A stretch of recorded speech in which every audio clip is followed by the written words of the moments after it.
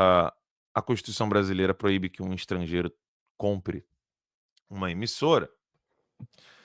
Mas a gente sabe muito bem que não, não, precisa ser o Elon Musk comprando, ele pode ser um sócio dele no Brasil comprando a, a Globo, por exemplo. Fala pessoal, sejam bem-vindos a mais um react, a mais um vídeo aqui do nosso canal. Será Elon Musk comprando a Rede Globo? 2 bilhões mais ou menos? Isso aí para ele é farinha, né? Dinheiro de pinga. Se ele quiser, ele consegue sim comprar esse canal. Não que se ele comprar, eu voltarei a assistir TV. Eu não assisto mais televisão nem para futebol. Inclusive ontem meu time jogou e passou naquele canal. Gente, eu não assisti. Não assisti o jogo do Flamengo. Não assisti. Fiquei querendo ver, mas fui fazer outra coisa. Eu não assisti porque eu falei, não vou dar audiência para esse povo. Não vou. Não consigo, depois de tudo que eles fez, depois do apoio que eles deram a, a essas pessoas, a prender essas pessoas que estão ali presas injustamente, não consigo, né? Infelizmente, não deu. Vamos lá ver o que Gustavo Gaia, entre outros jornalistas, tem a falar sobre o que está acontecendo aí. Algo muito estranho está acontecendo na Rede Globo de televisão. Estariam eles soltando a mão do capeta? Você se lembra da manifestação na Paulista com mais de um milhão de pessoas no dia 25 de fevereiro? Foi no domingo. Naquele mesmo domingo, o Fantástico fingiu que nada tinha acontecido. Nem sequer uma frase, uma linha foi usada para noticiar um uma das maiores manifestações que já aconteceram no Brasil. Bom, ali estava claro de que lado eles estavam. De lá para cá, muita coisa tem acontecido. O Brasil se tornando uma vergonha internacional por conta do autoritarismo e das decisões ilegais do Alexandre de Moraes que foram publicadas por as decisões, né, foram publicadas através do perfil, do perfil não, através do Elon Musk. E o mundo inteiro começou a prestar atenção que realmente o Brasil já não é mais uma democracia. Aí de lá para cá nós tivemos a Daniela Lima levando uma catracada ao vivo depois de tentar defender o Lula, né? Do, e o Gabeira vai lá e dá uma ferroada nela. Depois disso ela fica dois dias sem aparecer na emissora. Sumiu. Muito curioso isso. E aí nós tivemos o Elon Musk dizendo que estaria pensando em comprar a Globo. Chegou até mesmo a perguntar quanto custaria. É, isso no Twitter. E aí ontem à noite, no Fantástico, quando nós já. Se bem que eu não assisto Fantástico, eu tenho certeza que você não assiste Fantástico. Ninguém mais que pensa minimamente assiste essa porcaria. Eu não sei nem sintonizar na Globo mais. Se eu precisar sintonizar na Globo para salvar minha vida, eu tô morto. Mas ontem, curiosamente, o Fantástico falou da manifestação. Mas não só falou da manifestação, lembrando que o Fantástico é o ponto, é a culminação da audiência da Globo mas noticiou sem dar, sem colocar adjetivos. Sempre chamavam essas pessoas de golpistas, antidemocráticos, ataque à instituição. Dessa vez ele fez algo que eu não vi o Fantástico fazer há décadas, que é simplesmente dar os fatos. E aí, esse, trecho, embora seja de um minuto, está viralizando nas redes sociais. Dá uma olhada. Apoiadores de Jair Bolsonaro participaram de um ato hoje de manhã no Rio de Janeiro, convocado pelo ex-presidente. A manifestação ocupou três quadras da Avenida Atlântica, na praia de Copacabana, e foi apresentada pelos organizadores como um movimento pacífico em defesa da democracia e pela liberdade. O ex-ministro da Casa Civil, Walter Braga Neto, e o presidente do PL, Valdemar da Costa Neto, estão proibidos pelo STF de se aproximar de Bolsonaro. E... O que por si só é um absurdo. É ou não é um tremendo de um absurdo o presidente do PL não poder se aproximar do número um do partido, que é o Bolsonaro. Mas vamos lá. E subiram no caminhão antes do início do ato. O governador do Rio, Cláudio Castro, e o de Santa Catarina, Jorginho Melo, também estavam presentes. Houve discursos da ex-primeira-dama Michele Bolsonaro e do pastor Silas Malafaia. O encerramento coube a Jair Bolsonaro. Ele voltou a pedir anistia aos presos de 8 de janeiro do ano passado e elogiou o empresário sul-africano Elon Musk, dono da rede social X, antigo Twitter. Elon Musk tem usado o X para criticar decisões do ministro do Supremo Tribunal Federal, Alexandre de Moraes. O ato terminou ao meio-dia. Olha que coisa incrível, gente. Isso foi quase, quase foi jornalismo. Não, levou em consideração, por exemplo, o fato do pastor Silas Malafaia ter descido o sarrafo no Alexandre de Moraes por suas decisões ilegais, pela perseguição, por estar transformando o Brasil numa ditadura, nessa tal democracia relativa que o Lula tanto fala, tá? Mas foram detalhes. Tirando isso, quase se assemelha a um jornalismo de verdade. Isso aqui é histórico. O que, que nós podemos entender através do Fantástico ter noticiado o que aconteceu. Bom, o foco da manifestação não foi contra Lula. O foco da manifestação foi contra Alexandre de Moraes e as decisões ilegais e o fim da liberdade de expressão e a perseguição e o autoritarismo, o desrespeito à Constituição, que se tornou notícia no mundo inteiro. A minha interpretação é: a imprensa já largou a mão do Moraes. Já entendeu que ele já perdeu totalmente o controle, ele já está completamente inconsequente, está arriscando colocar o Brasil na lista de ditaduras do mundo. E aí a gente viu vários editoriais da Folha, vários editoriais do Estadão, do Estadão e de outras de outras partes da imprensa também, já de saco cheio do Alexandre Moraes. Só que o que faltava era a Globo. E a Globo foi lá e soltou essa matéria mostrando que é uma manifestação contra Alexandre de Moraes em favor da democracia e da liberdade de expressão. Isso para mim é um momento é, singular, icônico. Se a Globo larga a mão do Alexandre de Moraes, obviamente vai ter ali a Miriam Leitão e a Daniela Lima falando asneira que ninguém escuta, mas se a Globo já começa a falar das, do Alexandre de Moraes, já não o defende, então, meu amigo, é porque a hora do Alexandre de Moraes está muito próxima de chegar e o impeachment está muito próximo de acontecer mesmo. Lembrando que nós vamos trocar o presidente do Senado já no final desse ano em oito meses, sete meses, a gente troca o presidente do Senado e aí tudo pode acontecer.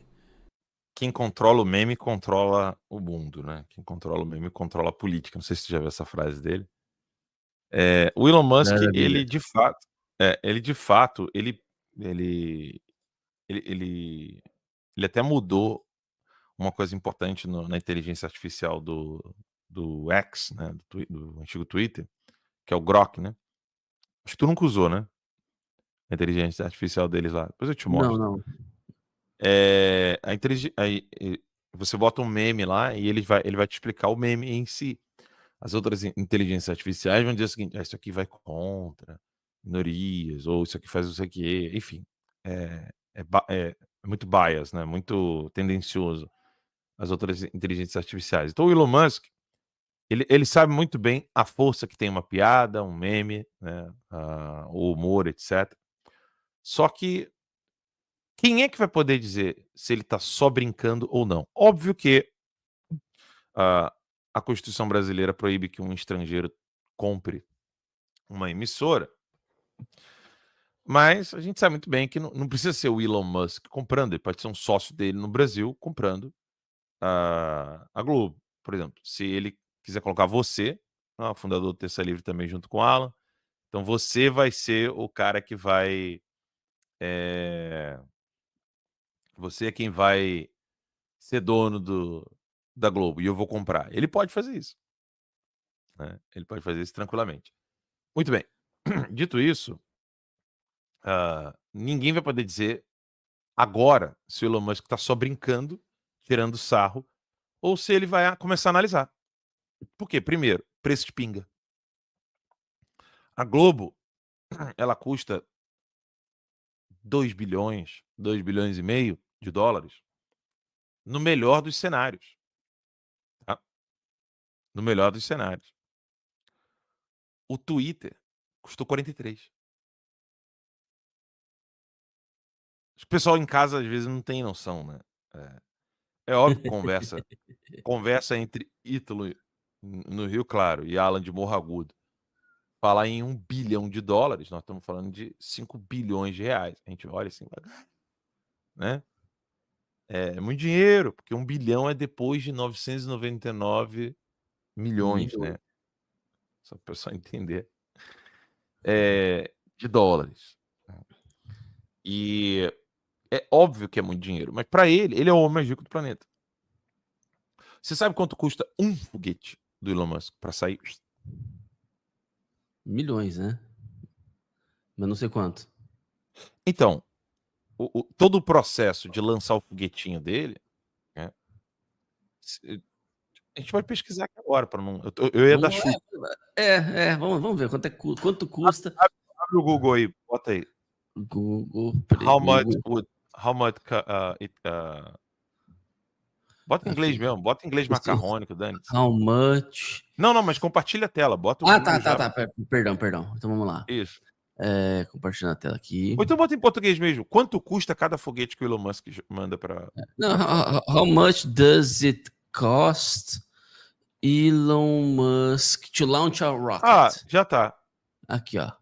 Ah, blá, blá, blá, 10 milhões por lançamento. Por lançamento. Por lançamento. Por lançamento. Que não, por que, que não é. é porque tem uma infraestrutura que é, que é fixa, né? Então, isso já custou, já, né? Então, assim, mas no lançamento, ah, quero botar um, quero botar um foguete hoje na órbita, 10 milhãozinho aqui. Fora o que você já gastou em infraestrutura. Você acha que um cara que fica lançando foguete por 10 milhões assim, de dólares, ele vai ter dificuldade de chegar e falar assim: ah, então, beleza, se é pra salvar o Brasil a gente compra a Globo, então comprei alguém. Eu viro Cara, pior, pior, pior, que veio na minha cabeça. Ninguém, a, a, ninguém pode. Ítalo, ninguém. O Ítalo, ninguém é. pode dizer que isso é só zoeira. Porque em 2017, é. em 2017, ele fez isso com, com o Twitter. Ele perguntou: quanto custa? 2017. É. Eu, tenho, eu tenho a imagem aqui, se quiser colocar na tela. Bota aí, bota aí, manda pra mim. Ele lançou um quanto custa também lá atrás. 2017. 2017. Aqui, ó. Eu vou. Eu encaminho para você? Encaminho para mim, eu boto aqui.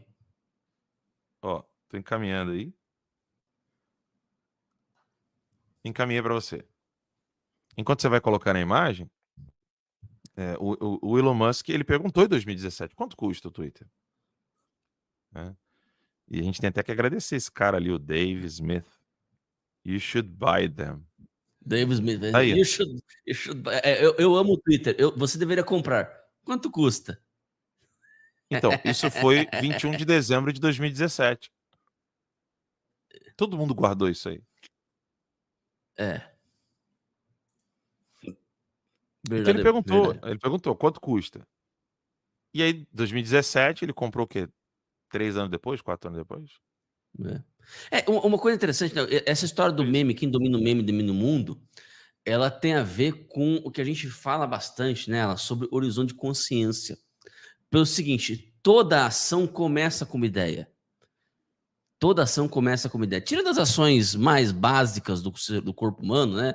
As necessidades fisiológicas, a respiração, batimento cardíaco e tal, né?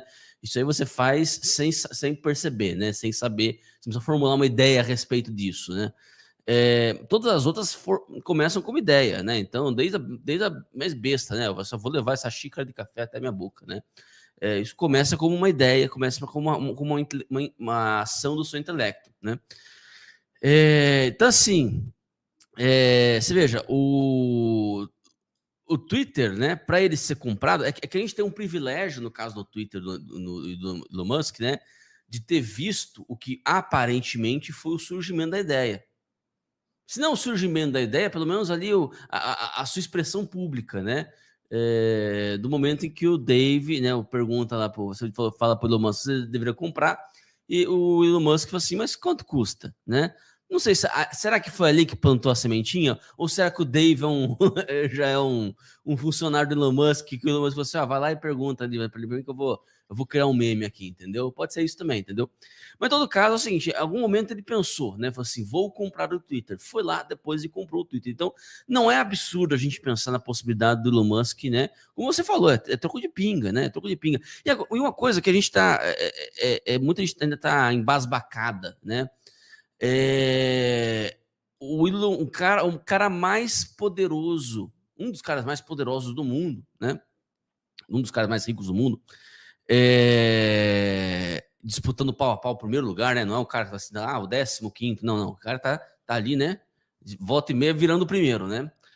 Esse cara está interessado num problema real do Brasil. Alguém pode dizer assim, ah, mas qual que seria a intenção por trás do que ele está dizendo? Bom, ele pode ter várias impressões por trás, né? várias, várias intenções por trás do que ele está tá fazendo, né? Mas o fato é que ele está lidando com um problema real. Nada do que ele está dizendo é mentira. Acho que esse é o ponto, né? Porque tem alguns algum pessoal aí, eu vou, infelizmente, eu vou ter que dizer, tá, Alan, eu vou, eu, eu, eu refleti muito sobre isso, eu vou, vou, eu vou falar, né, publicamente, né? Infelizmente, Ítalo Marcilli, né, que é cara que eu gosto muito pessoalmente, né, me ajudou bastante, mas errou feio, errou feio recentemente, falando essa história. Ah, ó, uma dica, né? Um capitalista não pode influenciar a, a política interna.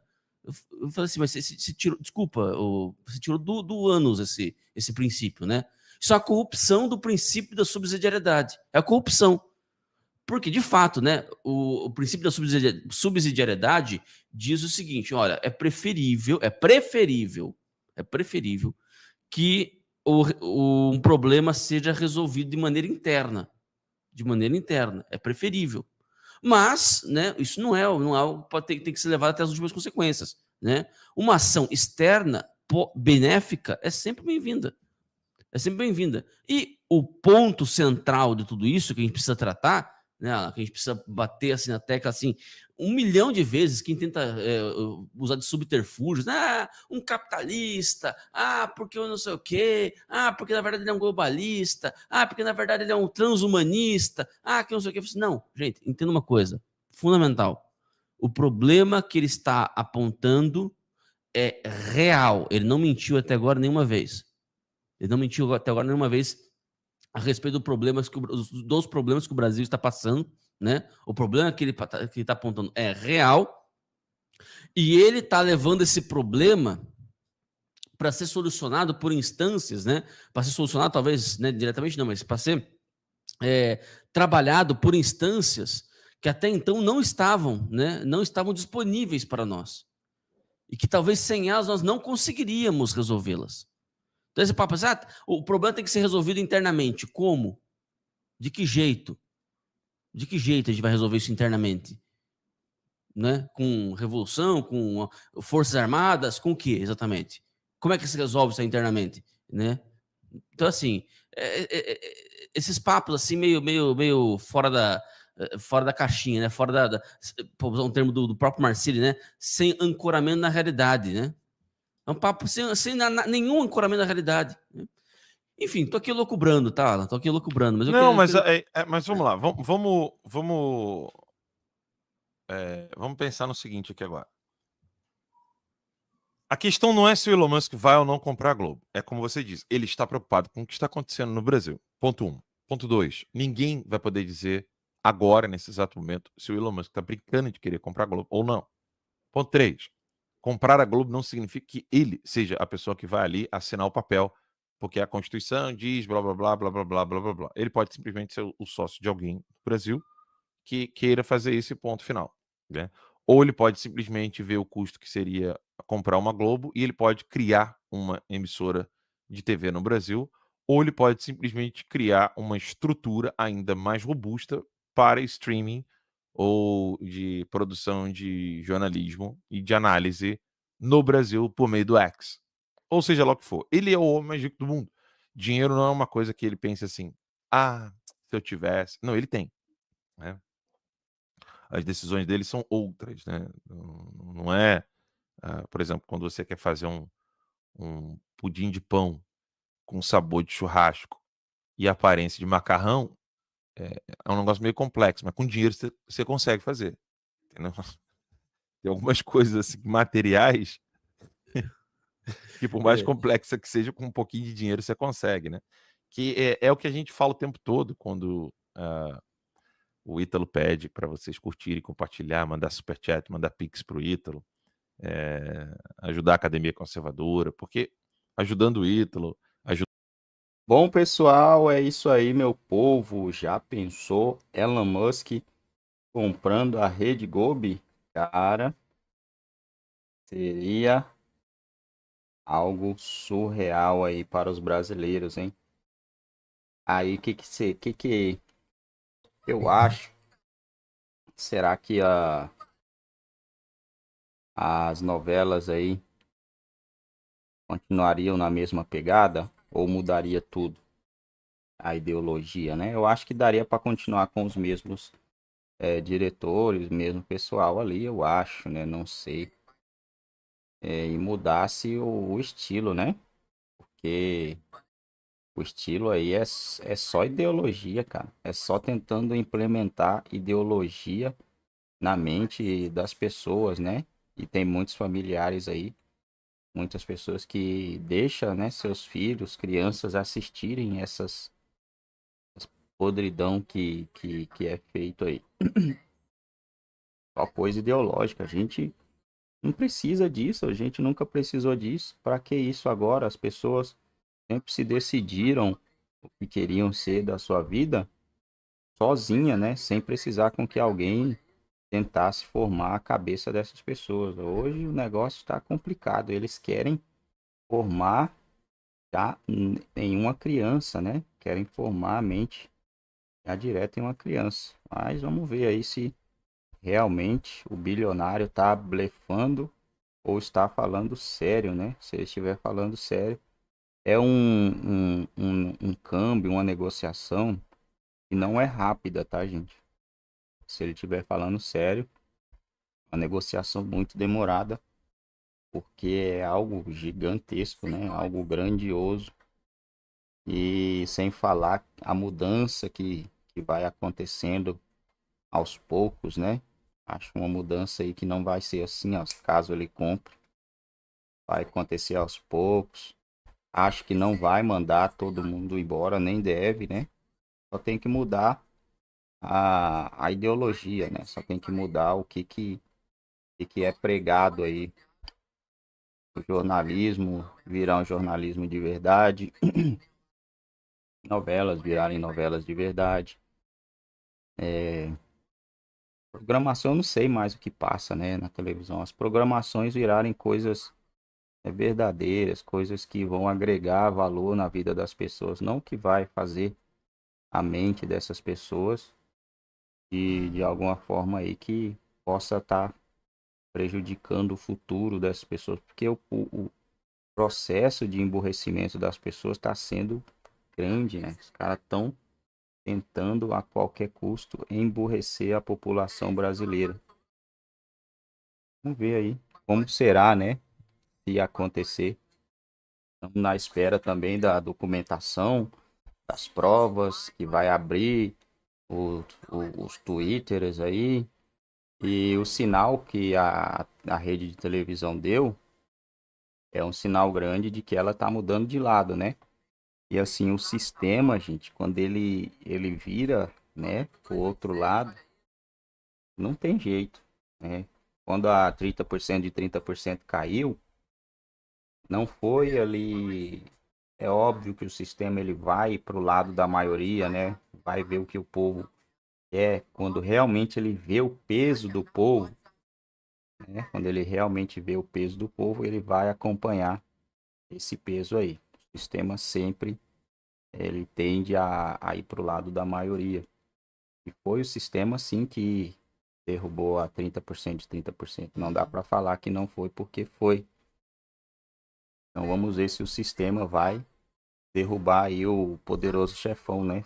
Tá aparecendo, tá aparecendo que, que é isso aí.